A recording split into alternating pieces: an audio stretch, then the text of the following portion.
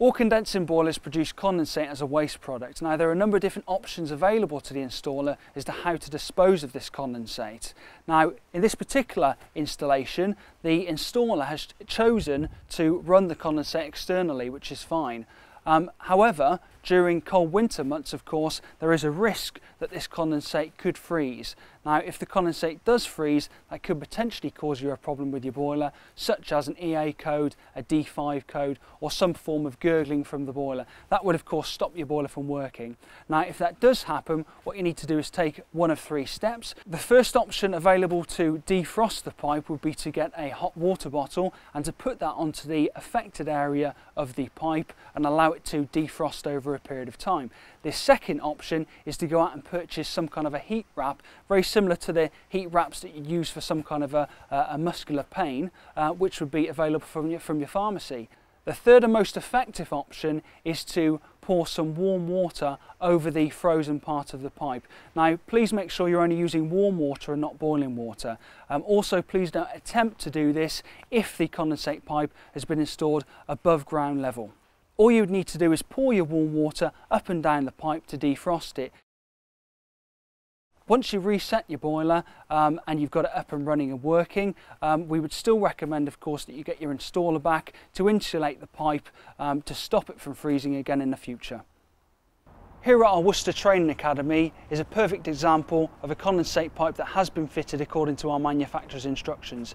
In particular, the white plastic condensate pipe has been expanded from the standard 22mm to 32.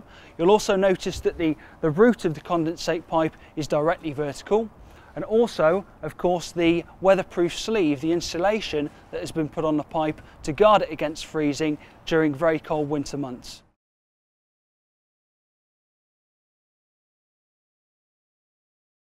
Worcester have now created an innovative solution to stop your condensate from freezing. It's called the CondenseSure Siphon and here it is. It has two main functions. The first main one of which is the fact that the uh, volume of water within the siphon is half a litre, so a large volume of water or discharging at once under a greater velocity, a lot less risk of it freezing.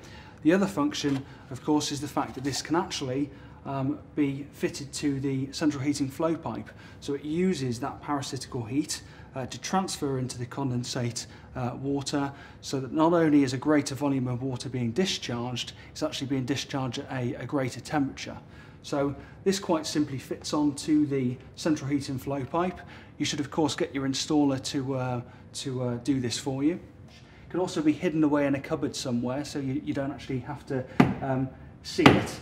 Um, that connects onto there. Your waste from the boiler connects onto this pipe here and then the connection there takes you off um, externally to the property into your waste pipe and this will stop your condensate from freezing. Um, the three main benefits are there is no electricity being used so there's a cost saving there. It's very easy to install um, and the fact that there are no moving parts or electrical components within the, um, within the product make it uh, very reliable. This product should be fitted by the installer and for more information please visit our website.